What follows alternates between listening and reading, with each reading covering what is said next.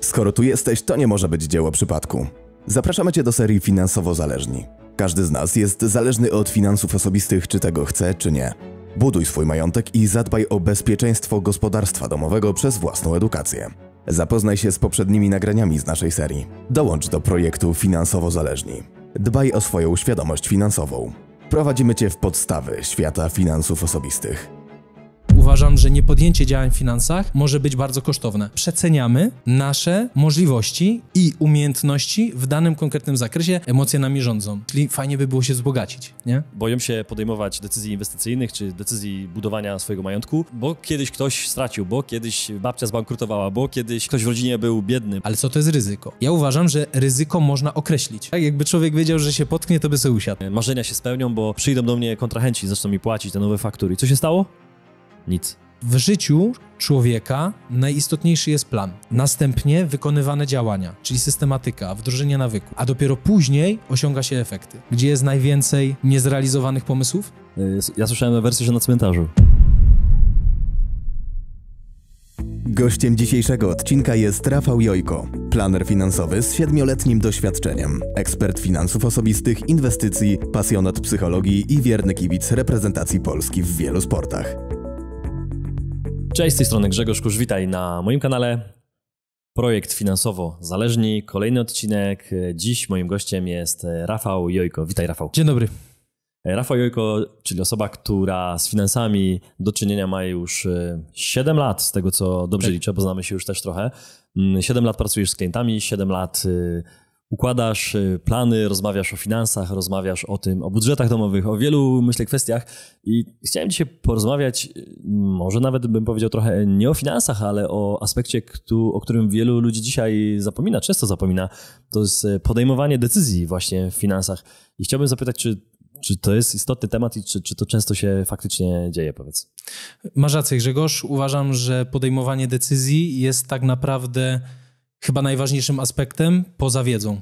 Mhm. Wiedza oczywiście jest bardzo kluczowa, jednak uważam, że emocje, które nami rządzą, e, są istotniejsze niż ta wiedza, ponieważ możemy pod wpływem tych emocji czasem nie podjąć decyzji, mimo że wiedzę na dany konkretny temat mamy. No dokładnie. Ja tak mam takie wrażenie, jak tak słucham, Mhm. obserwuję, ludzie oglądają wiele filmików, e, czytają książki, kupują, edukują się, no i nawet jak dostają jakąś informację, no to właśnie później jest tak, kurczę, ja to wiem, nie Tak. wiedziałem tego miesiąc temu, rok temu, dzisiaj to wiem, a i tak decyzji nie podejmuję. To powiedz, Ra- Rafał, jak już tak e, wchodząc e, dalej, jak to według twojego doświadczenia, według tych wszystkich spotkań, których zrobiłeś pewnie już może nawet tysiące z, z klientami, jak, jak to wygląda w praktyce? Jak to jest z tym podejmowaniem decyzji właśnie w, w kwestii finansowej? Jak to jest z podejmowaniem decyzji? To jest fajne pytanie, ponieważ musimy zacząć w ogóle od tego, co powoduje, że daną decyzję podejmujemy. Czyli to nie jest tylko wiedza. To, nie, to są również nasze przyzwyczajenia, to co wynieśliśmy z domu, e, nasze nawyki, e, a przede wszystkim, jak już wspomniałem e, chwilę temu, emocje. Emocje nami rządzą.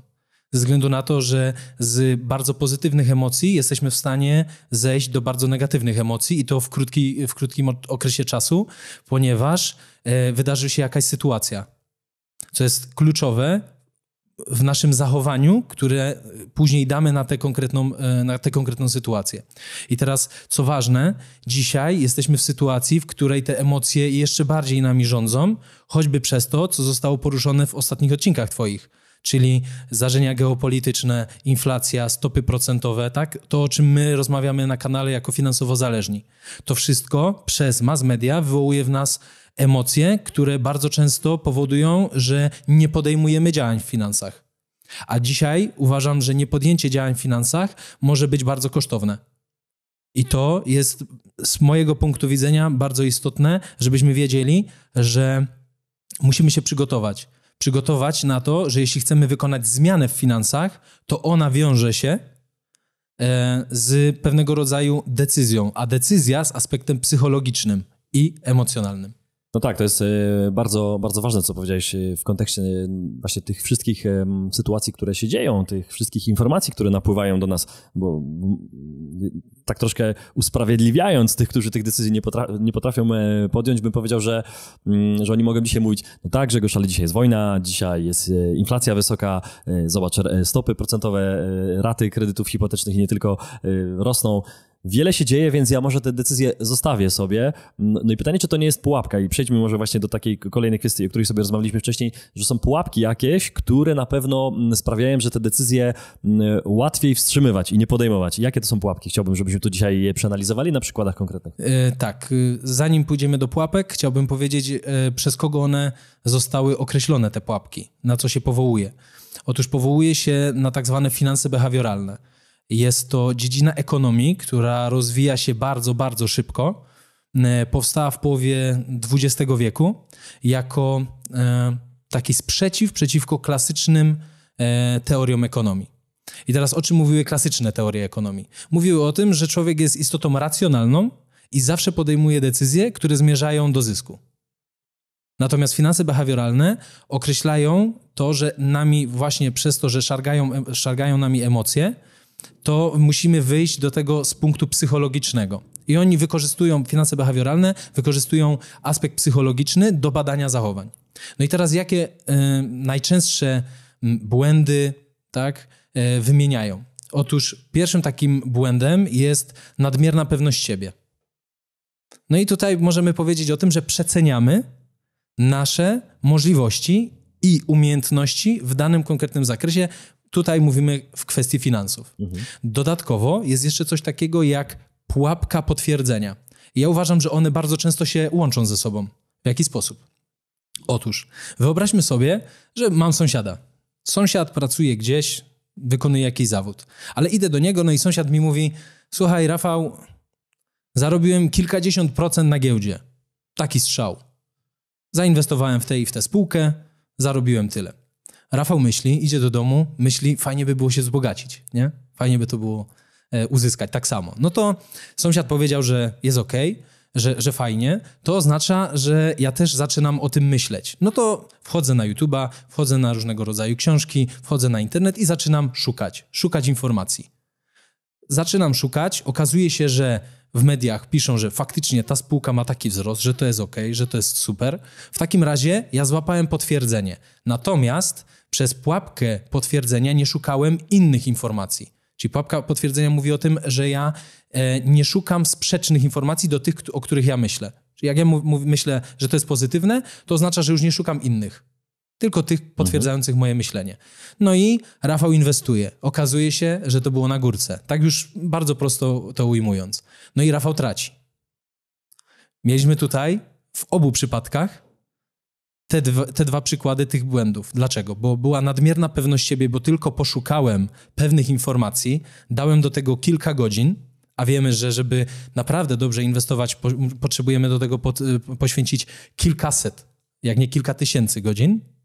A dodatkowo, przez to, że powiedział mi to sąsiad, przez to, że upewniłem się w internecie, że to jest dobry ruch, wykonałem ten ruch.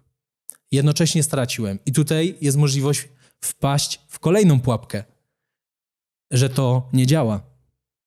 Że to po prostu nie działa. Dlaczego? Bo ja straciłem. To powoduje, że e, mogę już nie podjąć kolejnego kroku i mogę się w ogóle zamknąć na aspekt finansów.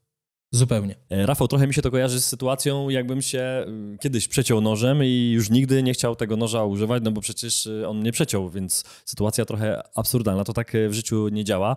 E, przeciąłem się wielokrotnie nożem, no i po prostu tego noża do dzisiaj używam. I tutaj analogicznie myślę, że w tej sytuacji no, ludzie niektórzy tak działają i boją się podejmować decyzji, bo kiedyś się sparzyli. Boją się podejmować decyzji inwestycyjnych czy decyzji budowania swojego majątku, bo bo kiedyś ktoś stracił, bo kiedyś babcia zbankrutowała, bo kiedyś e, ktoś w rodzinie był biedny, bo kiedyś ktoś otworzył firmę i się nie udało i tak dalej, i tak dalej. Do przykładów można by mnożyć, a ja uważam, że rozwiązaniem jest, e, rozwiązanie jest prostsze.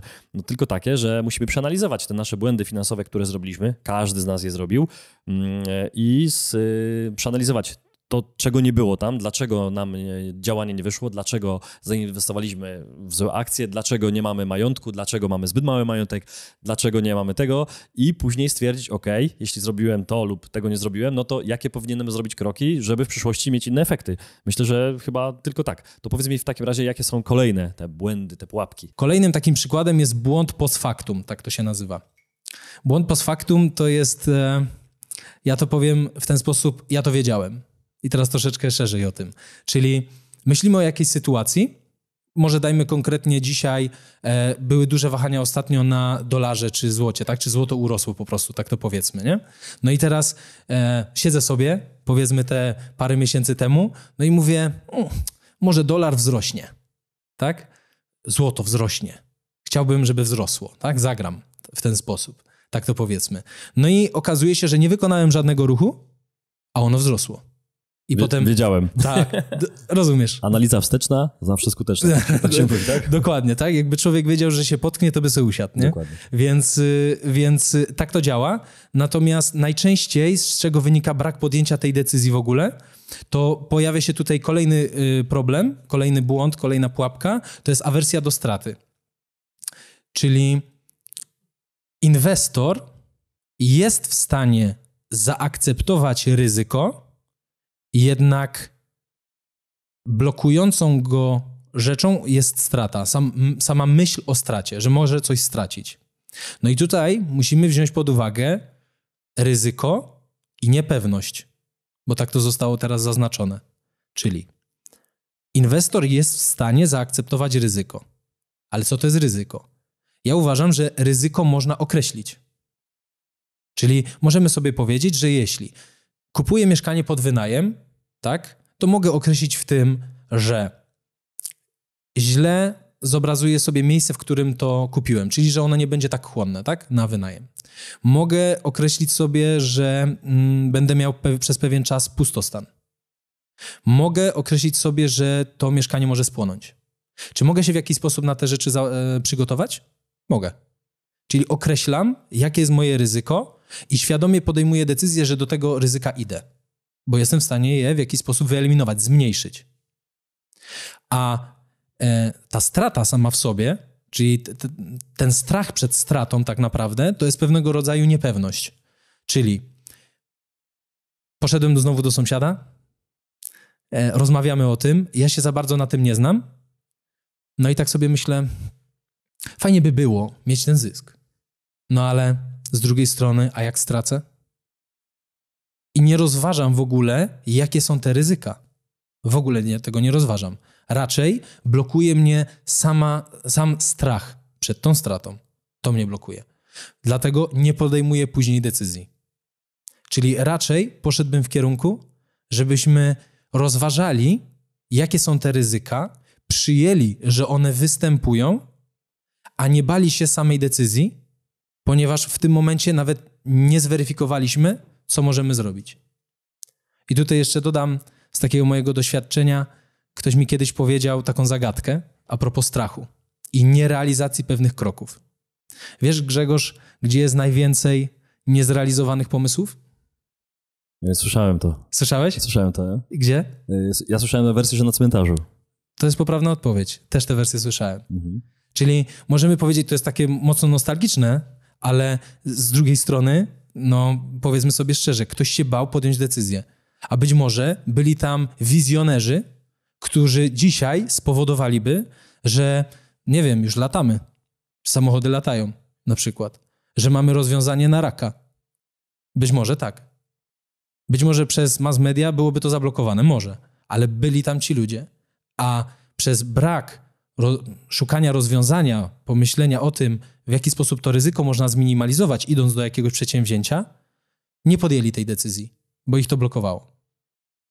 Jest jeszcze coś takiego jak błąd utopionych korzyści. I to też łączy się na przykład z działalnością gospodarczą. Zobacz.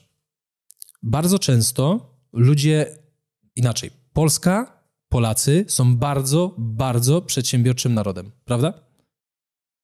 A mimo wszystko, mimo wszystko, e, określają jakiś zawód na podstawie tego, czy są w stanie w niego wejść, nie licząc pieniędzy. Czyli wiedzą, że mają jakieś umiejętności, ale nie liczą pieniędzy. I to jest bardzo często złudne, ponieważ błąd utopionych kosztów mówi o tym, że jesteśmy w stanie trwać przy konkretnej decyzji, nawet jeśli by była nietrafiona, przy konkretnej inwestycji, tylko dlatego, że jest, że wymagała od nas wielkiego wkładu finansowego. Idziemy do działalności gospodarczej, policzyliśmy sobie podstawowe koszty, ale zabrakło w nas takiego wyobrażenia sobie tego, co jest do przyszłości. Nie? Co się może wydarzyć? Czy ja mam na pewno tyle klientów, ile powinienem mieć? Jak ich chcę pozyskać? I to powoduje, że ta nasza początkowa euforia z punktu tego, że chcemy, że robimy, że działamy, bo to nas napędza, mhm. tak? To powoduje te pozytywne emocje. Nagle w, po pewnym okresie czasu, kiedy tych pieniędzy nie ma na tyle, ile miałoby być, że one nie starczają na pokrycie tych podstawowych kosztów, powoduje w nas strach, ale jednocześnie w pewien sposób przeradza się w nadzieję, że to się poprawi. W, po prostu w nadzieję. I teraz trwamy przy tym, mimo że ekonomicznie powinniśmy dawno tę działalność zamknąć, powiedzieć: OK, to była moja próba, spróbuję znowu, ale po jakimś czasie, kiedy wyciągnę wnioski, na przykład. No nie wiedziałem, Rafał, że to się tak nazywa, ale myślę, że jestem idealnym e, przykładem. Tak, tak. Ja jestem przykładem osoby, która na pewno to zrobiła.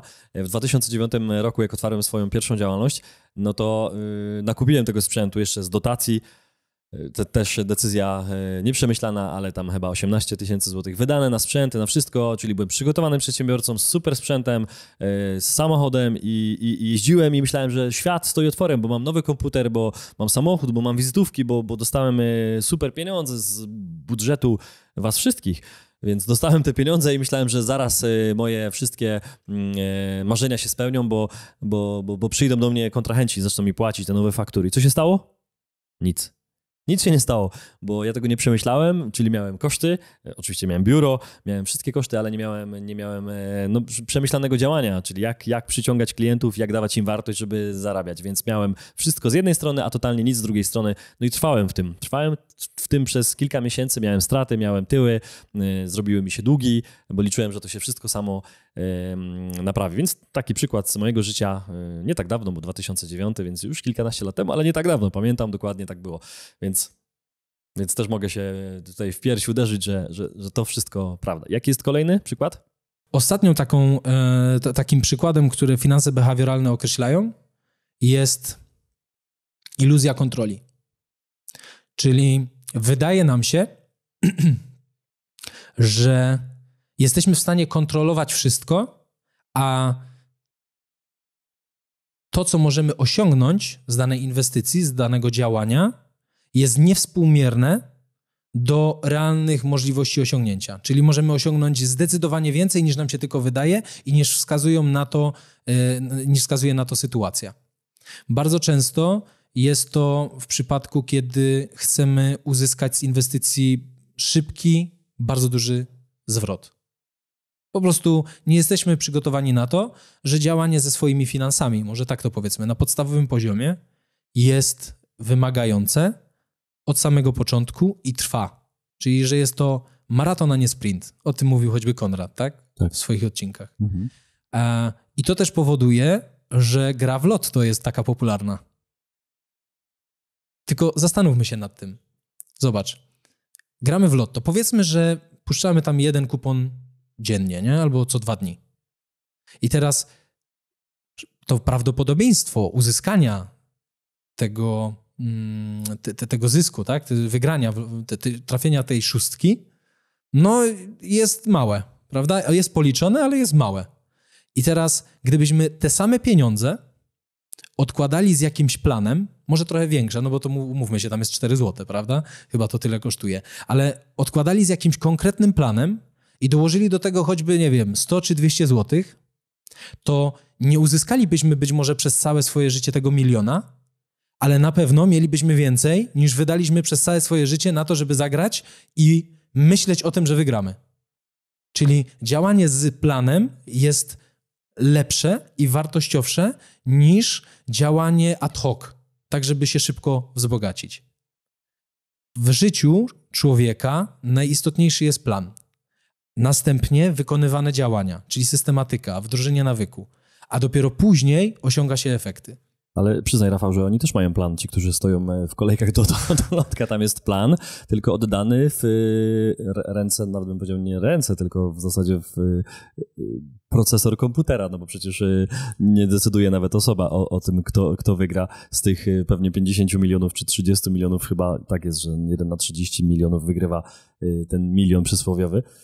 Więc to, to, wszystkie pułapki, bo widzę, że faktycznie rozkręciłeś się, nie chciałem ci przeszkadzać, super, to wytłumaczyłeś na tych przykładach y, te pułapki, gdzie my sobie usprawiedliwiamy często się, albo jesteśmy właśnie zbyt pewni, że jeśli dostaliśmy informację od tego sąsiada, który, którego spotkaliśmy w windzie, to nie dość, że my zarobimy, to co sąsiad na pewno, no bo przecież skoro on nam to powiedział, to my jesteśmy mądrzejsi od tego sąsiada, bo on przecież jeździ gorszym autem, to my zarobimy dwa razy tyle, tylko wystarczy, że znajdziemy tą informację w internecie i co najważniejsze, nie możemy nikomu teraz powiedzieć o tym, bo świat nie może się o tym dowiedzieć, bo to tylko my wiemy, to jesteśmy tak, jedyną tak. osobą. To często, ja to kiedyś e, miałem takie, takie myślenie kilkanaście lat temu, że to tylko ja wiem o tym, to jest magiczna recepta i teraz ja się wzbogacę. okay. Nikt nie może o tym się dowiedzieć. Mm -hmm, Także takie myślenie mm, te pułapki. Jakbyś to podsumował, te, te zachowania y, ludzi, pewnie też klientów, y, którzy, których spotykałeś, no bo, no bo to wszystko myślę jest z takich twoich działań, który, które widziałeś, które słyszałeś od osób, które, mm, no, które podejmowały często nieracjonalne decyzje, ale, ale spotykając się z tobą, myślę, że tak powiem kolokwialnie, trochę prostowały te swoje y, myślenie i, i, i, i uzna, uznawały, że no nie do końca, skoro nie mamy efektów, to znaczy, że, że jednak to nie działało. To się dokładnie w ten sposób objawia, jak powiedziałeś, czyli usprawiedliwiamy się w jakiś sposób, natomiast nie chciałbym powiedzieć, że to jest droga każdego. Chciałbym powiedzieć, że najważniejsze jest przyjąć, że decyzja to zmiana, a zmiana wywołuje w nas pewnego rodzaju dyskomfort, bo wchodzimy w coś nowego. Chcemy coś nowego zrobić. To jest naturalne. Niektórzy mówią, że trzeba wyjść ze strefy komfortu, inni mówią, że trzeba ją poszerzyć, tę strefę komfortu. Ja chcę powiedzieć wszystkim, nie musicie się bać ponieważ zmiana jest naturalna. Na co dzień dzieją się rzeczy, które zmieniają nasze życie. A podjęcie działań w finansach dziś jest bardzo kluczowe w przypadku waszej przyszłości finansowej, waszego bezpieczeństwa finansowego. Jako planer finansowy chcę powiedzieć, że naszym zadaniem jest troszeczkę wejść w wasze buty spowodować, że poczujecie się bardziej komfortowo, że poznamy wasze przyzwyczajenia, wasze chęci, zakupowe również, i poprowadzimy was, czyli staniemy obok was, weźmiemy za rękę i przeprowadzimy was przez ten świat, tak, aby wam uświadomić, że i wy możecie się bogacić, a być przy tym również bezpieczni finansowo. I tak bym chciał zakończyć. E, super. Rafał, myślę, że e, to jest istotne, to co powiedziałeś, taki nawet, ja bym odniósł to jako taki apel, ale to jest dobre słowo, to nie jest e, zbyt mocne słowo, bo w dzisiejszych czasach no, czasy są zawsze jakieś. Ktoś mówi, że dzisiaj mamy takie czasy i dlatego to, czy dlatego tamto. Dlatego podejmuje decyzję taką lub nie podejmuje decyzję ta taką. Oczywiście nie podjęcie decyzji w kwestii finansów, żeby właśnie mm, zająć się swoim budżetem, czy swoim kredytem hipotecznym, czy swoją rezerwą, czy w ogóle finansami, to też jest decyzja zostawienie tego i stwierdzenie, nie, zajmę się tym po wojnie, zajmę się tym po kryzysie, po covidzie, y, po urodzinach y, syna, matki i tak mhm. dalej. Zawsze jest jakieś y, rozwiązanie, więc myślę, że ten apel twój taki, żeby, mm, żeby wziąć te sprawy w swoje ręce, a jeśli nie ma się tej wiedzy, to y, podać rękę właśnie planerom finansowym, czyli osobom takim y, jak ty. Od 7 lat już y, pracujesz, a od listopada prowadzimy projekt finansowo zależny tutaj razem na kanale. Dokładnie. I jesteś co prawda pierwszy raz, ale myślę, że nie ostatni, bo widać, że jesteś praktykiem z krwi i kości. Myślę, że to jest bardzo, bardzo ważne, szczególnie w czasach właśnie takich, gdzie Mam wrażenie, że to zaufanie społeczne z jednej strony do telewizji maleje, ale y, ludzie są coraz bardziej otwarci na tą właśnie zmianę, bo widzą, że e, nawet mając y, swoje pieniądze na koncie, czują inflację, widzą te ceny. Może niektórzy, ja to zawsze daję jako przykład taki bardzo, bardzo naoczny, że ktoś ma 100 tysięcy złotych oszczędności na koncie i dalej mówi, ja dalej mam te 100 tysięcy, bo widzę na koncie. Przecież komputer odpala mi te 100 tysięcy, dalej tam jest. Jest, ale wiemy doskonale, że ta inflacja ogłoszona 11 prawie, to ona nie jest, ona jest nawet już prawie Dokładnie. 15, a może i 20 ta zakupowa, więc myślę, że Rafał warto wziąć to sprawę w swoje ręce, także dziękuję Ci za dzisiaj, za wizytę tutaj w studiu. Ja również bardzo dziękuję, było mi bardzo miło. Y, no i mam nadzieję do zobaczenia znowu. Do zobaczenia, Rafał, znowu. Wszystkiego dobrego, do zobaczenia. Dzięki, cześć. Cześć.